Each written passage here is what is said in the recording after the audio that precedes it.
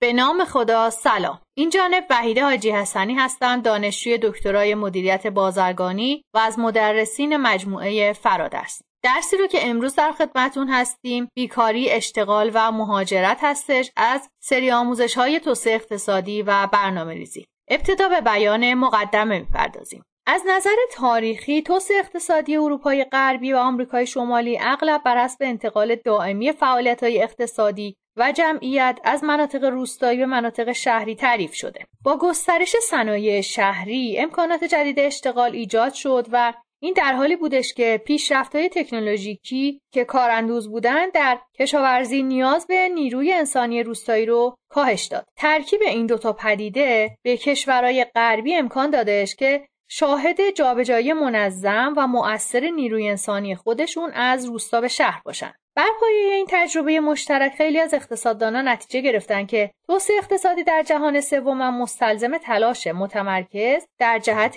پیشبرد رشد سریع صنایع شهری هستش. پس توجه خودشون رو به شهرها به عنوان مراکز رشد و نقاط مرکزی یه اقتصاد در حال گسترش معطوف داشتن متاسفانه این استراتژی صنعتی شدن سریع در بسیاری از موارد نتایج مطلوبی رو که بر مبنای تجارب تاریخی پیش بینی شده بود به بار نیاورد. امروز خیلی از کشورهای در حال توسعه از ترکیب منحصر به فرده. سه تا پدیده مهاجرت عظیم جمعیت از روستا به شهر بهرهوری پایین کشاورزی و بیکاری و کمکاری فزاینده شهری و روستایی به سطوح اومده بودند.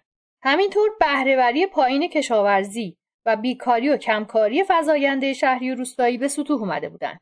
بیکاری قابل توجه در اقتصاد کشورهای کمتر توسعه یافته احتمالاً یکی از برجسته ترین علائم توسعه ناکافی اونا هستش. امروزه ابعاد مسئله بیکاری از کمبود صرف فرصتهای اشتغال یا بهره برداری و بهرهوری پایین کسایی که ساعت طولانی کار می‌کنن فراتر میره و شامل افزایش بین توقعات بسیار بالای شغلی مخصوصا در بین جوانهای تحصیل کرده و مشاغل موجود در مناطق شهری و روستایی میشه. مخصوصا بیکاری فزاینده از کارهای دستی و کشاورزی در نظامهای آموزشی یقه سفید پرور شهری موانع جدی رو بر سر راه جوامع فقیر که تلاش می‌کنن توسعه ملیشون رو تسریع ببخشن به وجود میاد. بنابراین مسئله بیکاری تو کشور جهان سوم اشکال متعددی داره که از نظر تاریخی به اون ویژه منحصر به فردی میبخشه و به این ترتیب تابع تحلیل های متعدد اقتصادی غیر قراردادی میشه که سه تا دلیل عمده برای این وجود داره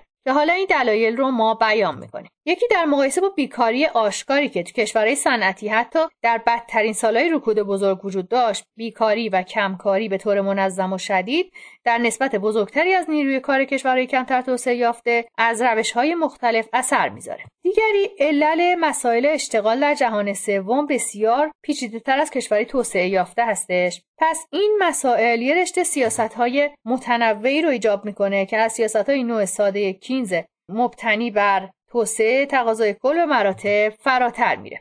و مهم همینه که باید به خاطر داشته باشیم که ابعاد و همینطور علل بیکاری تو کشورهای جهان سوم هر چیزی که باشه فقر و همینطور سطح پایین زندگی همراه با فقدان کار مولد به ندرت توی کشورهای توسعه یافته وجود داره.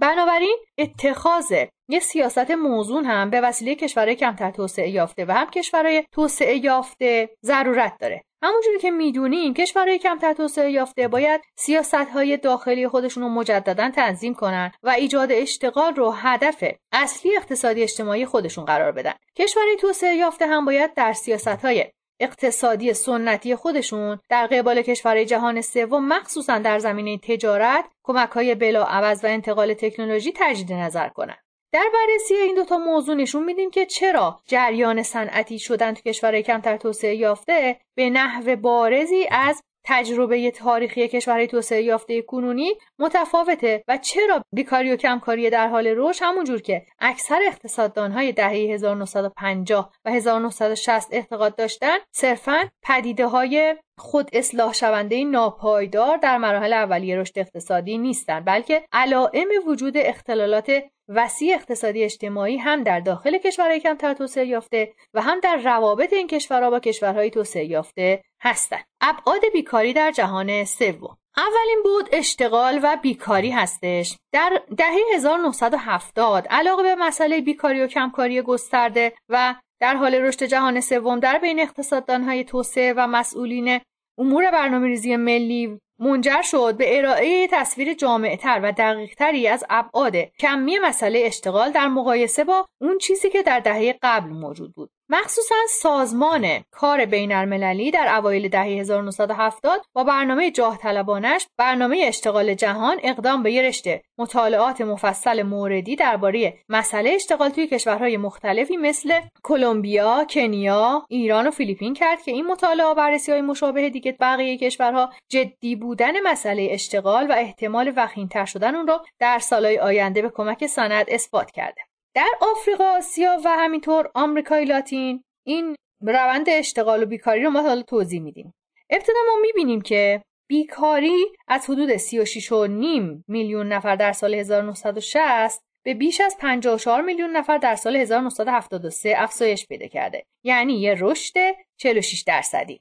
این افزایش به طور متوسط معادل نرخ رشد سالانه 3 درصد هستش که بیش از نرخ رشد سالانه اشتغال در همون دور است. به این ترتیب در مجموع رشد بیکاری در جهان در حال توسعه سریعتر از رشد اشتغال بوده. نیروی کار.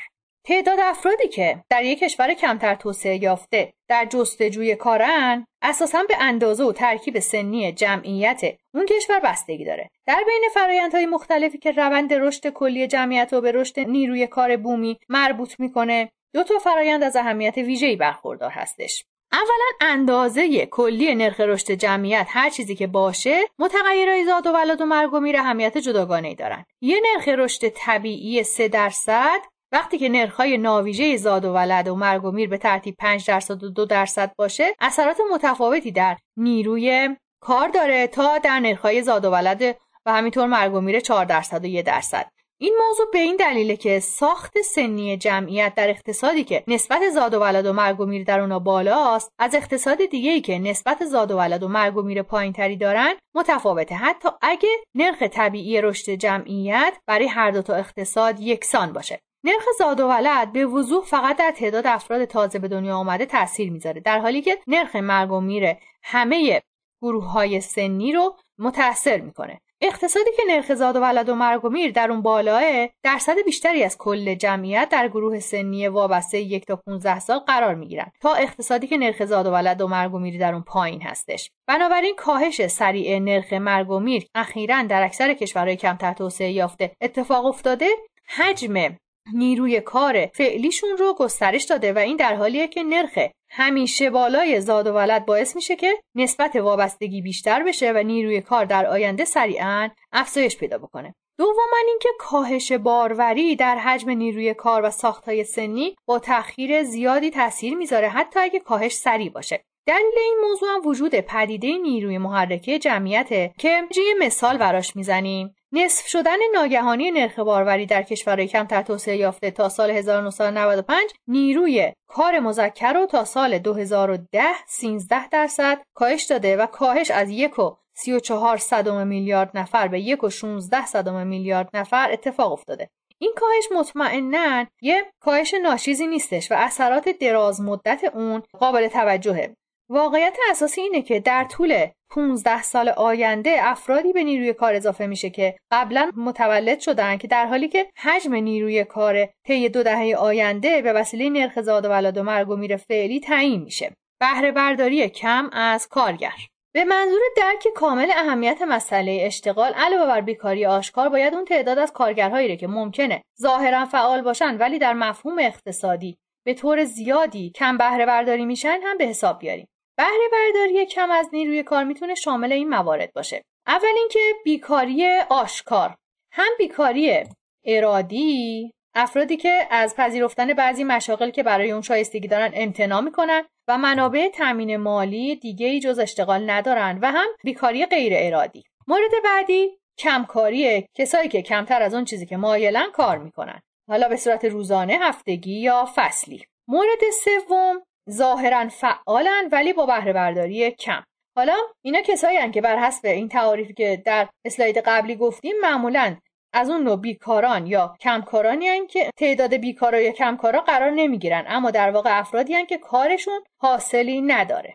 می‌رسیم به مورد سوم یعنی افرادی که ظاهرا فعالن ولی با بهره برداری کم. اینا کسایی هستن که بر حسب این تعاریفی که در اسلاید قبلی گفتیم معمولا در تعداد بیکاران یا کمکاران قرار نمی‌گیرن اما در واقع افرادی هستند که کارشون حاصلی نداره. حالا اینا تقسیم بندی میشن. یکی از این تقسیم بندی ها کمکاری پنهان هستش. خیلی از مردم ظاهرا در مزارع یا توی بخش دولتی به طور تمام وقت کار می‌کنن ولی خدماتی رو که ارائه می‌کنن نیازمند وقت خیلی کمتریه. و همینطور فشار اجتماعی بر صنایع خصوصی هم ممکنه منجر به مقدار قابل توجهی بیکاری پنهان زیادی بشه. اگه مقدار کار موجود آشکارا بین شاغلین تقسیم بشه کمکاری پنهان ناپدید میشه و کمکاری به طور به صورت آشکار ظاهر میشه. بیکاری پنهان هم مورد بعدیه کسایی که سرگرم فعالیت های غیر شغلی انتخاب دومن مثلا کارهای روزمره آموزشی و خونگی اون هم اساسا به این دلیل که فرصت های شغلی برای اونا موجود نیست. این موضوع در مورد افرادی که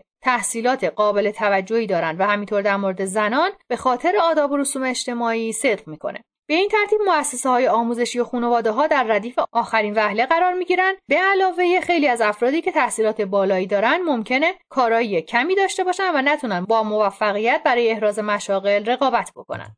و مورد بعدی هم بازنشستگی زودرسه که این پدیده مخصوصا در خدمات دولتی وجود داره و ظاهرا در حال افزایشه. در خیلی از کشورها سن بازنشستگی همزمان با افزایش طول عمر در حال کاهشه این کار وسیله برای ایجاد امکان اشتغال بیشتر برای افرادی که در سنین پایین قرار دارن. مورد بعدی بیماران رو شامل میشه. کسایی که ممکنه تمام وقت کار بکنن ولی قدرت کارشون بر اثر سوء تغذیه یا فقدان داروهای عمومی پیشگیری کننده تحلیل میره و افراد بعدی غیر مولدان هستند که اینا کسایی هستند که می‌تونن نیروی انسانی لازم را برای کار تولیدی تشکیل بدن ولی ساعتها درگیر منابع مکمل ناکافی برای ساختن عوامل تولید خودشون و حتی ضروریات زندگی خودشون هستند. اگرچه اشکال بهره برداری کافی از کار در کشورهای کمتر توسعه یافته به یکدیگر وابستن ولی هر کدوم از اونا به نوبه خودش از اهمیت زیادی برخورداره برای آسون شدن کار